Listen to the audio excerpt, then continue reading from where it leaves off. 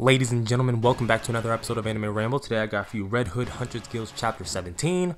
What is going on? Well, this chapter opens up with Cinderella swallowing her pride and asking Debo for her help to stop the mayor, alright?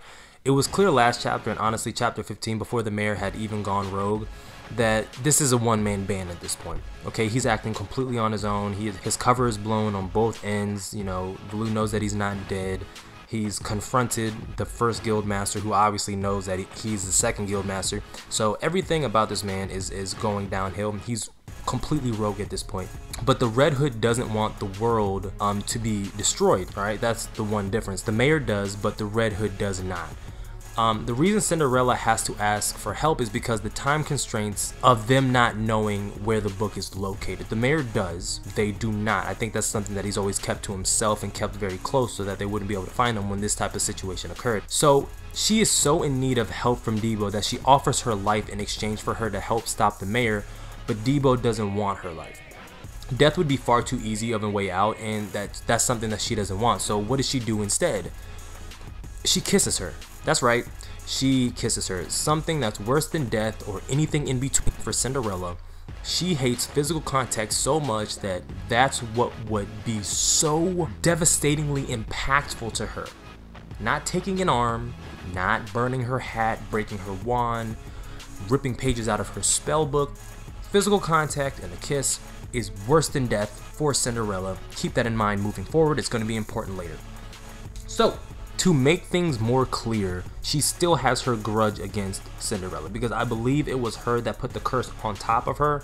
So, I mean, me, maybe me personally, I'm like, look, if you want my help, you have to remove this curse. But considering it's so in, in tune with her fighting style, I can't see it being removed as of right now if she really wants to make something shake when she gets inside, especially against the mayor. Regardless of that, this leads to a massive combo attack from the two in the form of Comet Laser, which is an attack coming from Debo in the form of her emitting a blast that is 6100 degrees Fahrenheit and Cinderella focusing that attack to produce this destructive beam that just decimates the bunker and allows for them to gain access into the main HQ where the mayor and everybody else is. Bonkers, Ty, Mai, Miguel, and everybody else whose name I forgot are all on the way to the main HQ as we speak. Flash over and we get Ludwig, that's the mayor, and the inscriber explaining the book and its details. So how this works is that the readers filled the early details of the book before any guild member was established. From there, it was buried on the island deep underground before they found it and began actively trying to eliminate the, the, the travesties put in the book that was there to fuck their shit up. And to the readers, this is just a good story. Again, keep in mind the Matrix, okay? The entire plot was that they didn't know the world that they were hooked up to and living in was fake. Something I didn't mention in the previous chapter is that the guild has already made seven attempts before this um, to rewrite history in their books in the attempt of stopping werewolves. They've tried plagues, they've done nukes, natural disasters, all of it. This attempt was their eighth try with the whole lycanthrope disease, and each attempt previously has ended with, you know, just complete destruction and eradication of all humans across the entire world. So, what do they have to do after that? Well, they have to rewrite the world, make everything good again, just to try to fuck shit up with another strategy to try to eliminate werewolves. They return with each iteration of a new story, where they just try something different than the previous story. A story that is forever changing and adapting for just survival. The mayor's plan isn't to eliminate werewolves, his plan is to simply eliminate the entire world and be done with the foolishness that he has had to be subjected to for 500 years. He's tired, he's over it, and obviously they don't have a plan to make this shit work. You gotta keep in mind how long each plan takes to actually, you know, incorporate and fulfill.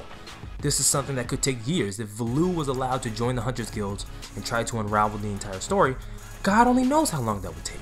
Decades. It could take decades, right? Because again, they don't have any knowledge of this. Actually, I don't even know if Grimm had knowledge. She lost her memory too early on, so. But we got answers to previous questions I had regarding how he was able to move around without being recognized at all. He wrote his name out the book. That's it. He just wrote his name out the book. No one remembered him at all.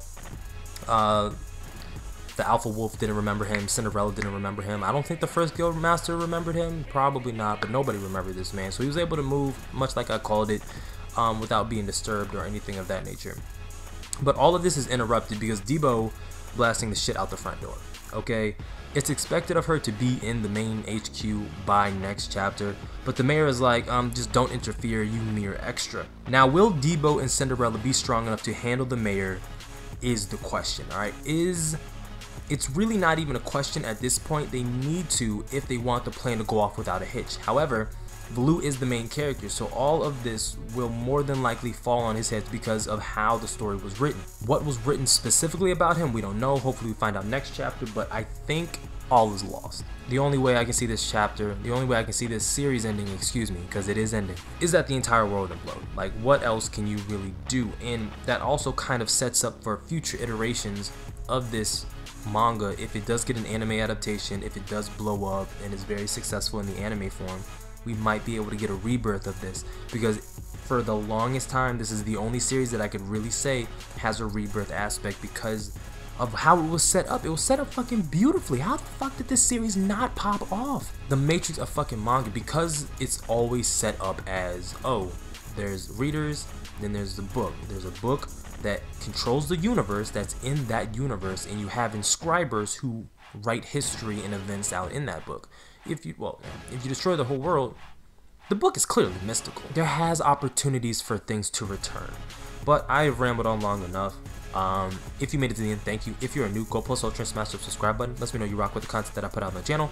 Like the video if you like the video, dislike the video if you dislike the video. Comment on the video your thoughts about what you think is going on. Is this going to be a series that could potentially come back in the future? We will see. Subscribe if you're brand new, and like always, until next time, I'm out.